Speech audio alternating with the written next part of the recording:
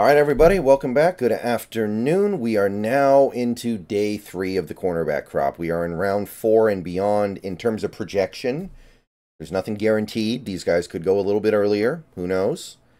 But um, just because they are not viewed in the same lens as the guys we've already talked about does not mean they're not interesting. And I find some of these guys very interesting, actually. So, let's start with DJ James of Auburn, the Tigers, 23 years old, 6 feet tall, 175 pounds, 31 inch arms, 8 and 3 8 hands. Um, ran his 40 at the combine. That's all he did, but it was a good uh, 40. 1 5 10 yard split as well. Nice. Big boards, we got some fourth, and we've got a third. So his aggregate position is early fourth. Production over the last two years has been pretty good. Um, 75 tackles, four and a half for loss, three picks, 18 passes defensed, really good PFF grades. So DJ James has put together some nice years for the uh, Tigers. Um, enough to almost certainly be a draftable prospect in this draft. So the thing that stands out with him, I guess, would be the fact that he's played outside and inside at Auburn. He's played um, both roles, and he showed he could do both. Doesn't mean he'll be able to do both in the NFL, but it certainly creates optimism that he could. He's got good ball skills. He has 18 passes defensed over the last two years is really good. He should be flexible across man and zone. I think he'll be able to do both. He has enough reactive athleticism to hang in man but he also has the awareness to hang in zone. He's a smart, high IQ player. You give him the chance to face the line of scrimmage, face the quarterback, and diagnose a play as it's happening, and he usually delivers. And he reacts to the information given to him really well. So if you put him in that zone situation, he's going to hold up, but I also think you're getting a capable man corner. And he's a good tackler. He's fundamentally sound in that area. so not worried about him as a run support guy, really. Now, maybe his size could betray him, but it's not going to be for lack of trying. He can get fooled by eye candy and bites hard on fakes. He is a little overly aggressive, I think, which is something he's going to have to maybe work out of his game a little bit. You can trick him with double moves and fakes. Um, he doesn't have play speed the way he had combine speed. I don't think he plays as fast on tape as he played as he I mean ran at the combine. So you have to be a little bit wary of that. I feel like speedster receivers can burn him, and there's not much he can do about it. So you do have to be a little bit cautious with leaving him in man. And while he is a good tackler and good in run support, he doesn't shed blockers the way you would like, which, in fairness, most of these cornerbacks don't. But he's not going to be able to weave through blockers to like stop a screen pass or anything like that. And at the end of the day, he is a little undersized. So we have to ask ourselves is this going to be a slot only player in the NFL? That's very possible. Uh, plenty of guys just don't have the size to play on the outside, so they move inside permanently.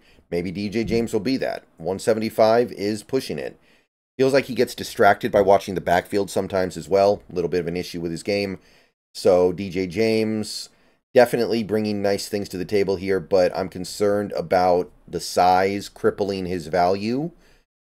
But the things that he has that do not go away just because he's playing in the slot, like the ball skills and the smarts and the awareness, those do not go away. And that should continue to make him at least somewhat desirable. So I would say fourth round seems right. So I think that the aggregate gets things about right here. Uh, fourth round pick, somewhere in the middle of the fourth. Maybe I'd bump him down a little bit from 105, but not significantly so. So yeah, seems about right to me.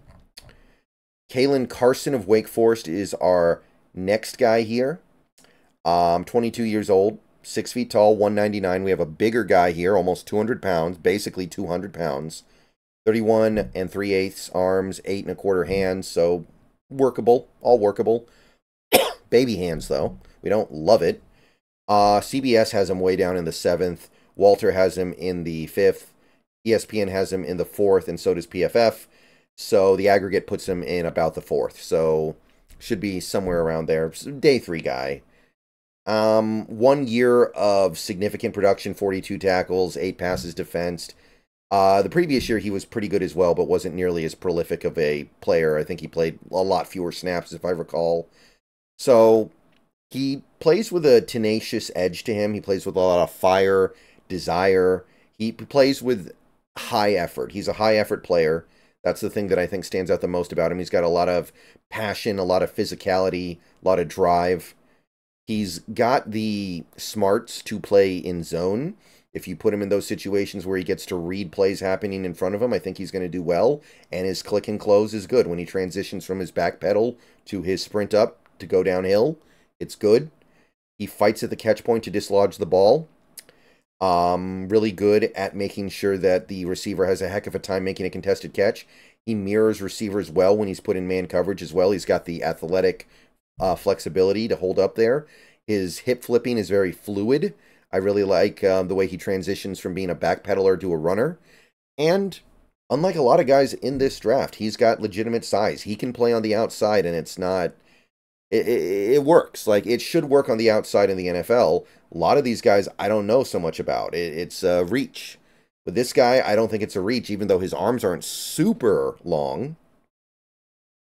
Now, no interceptions in two years. He's had interceptions, but they're from 2021 and before. He doesn't really turn and play the ball that well. He tends to play the receiver, which is probably going to attract penalties. So the ball skills are not everything they need to be needs to learn how to turn around and play the ball so he doesn't get those penalties.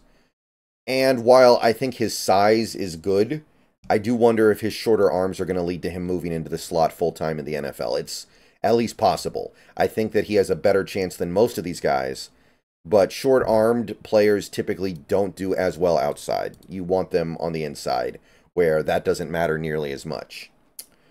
So I'm not sure what he's going to be able to do in the NFL because of the size.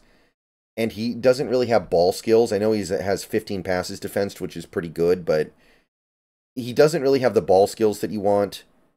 There is some potential here. He's passionate, he's got fire, he's versatile, he can do a few different things for you.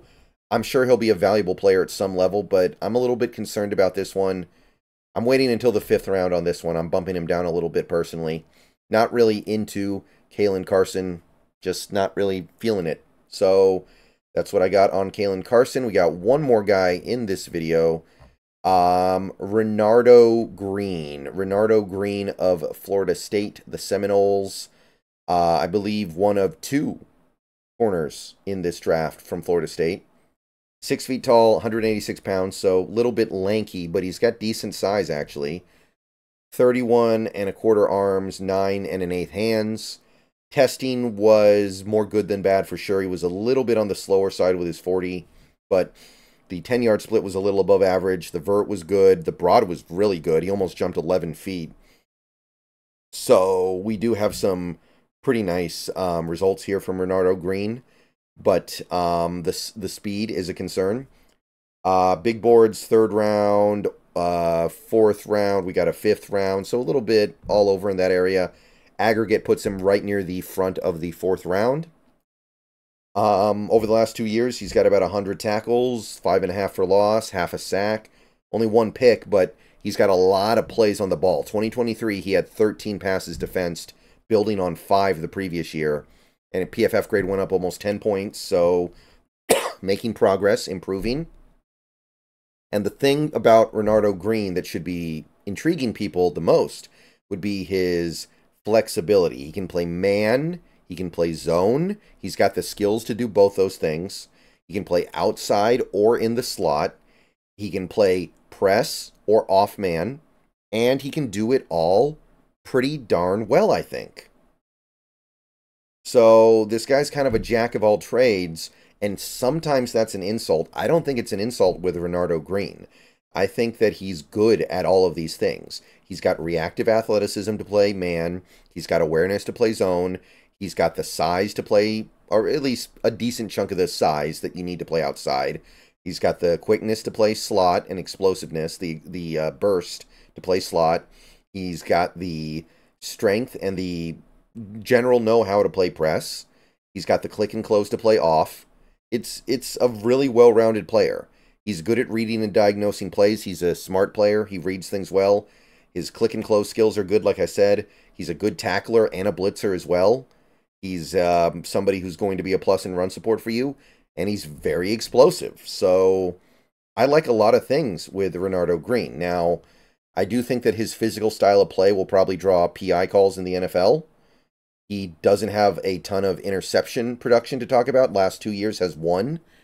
So that's definitely something that's um, some people are going to have to try to figure out to unlock because it's not like his ball skills are bad. Um, and he's a little too eager with his press. Sometimes he gets over aggressive in trying to jam, and the receiver can just like stack him by getting right behind him if he misses. So little bit overzealous sometimes, and that leads to him getting beat. But there's a lot of stuff to really like here. Um, he's really really well rounded. I think he can do a little bit of everything, and the issues that he has are fixable. These should be fixable by good coaching. So I'm into Renardo Green quite a bit. I definitely would put him in the third round, maybe even the early third round. I don't know. I think this guy's getting slept on a little bit. I'm not sure what I'm missing here. I'm not sure what I'm supposed to not like here. Maybe he's 26 years old and he's is what he is and he's not going to get better at these things. But why not? Why wouldn't he be better than this in a uh, in in just a short couple of uh, short couple of years? All right, so that's my three guys to start off the day three discussion. I will be seeing you guys soon with more day three guys at cornerback. Just a little bit more to get through, guys. We're almost done. See you guys later. Go Hawks.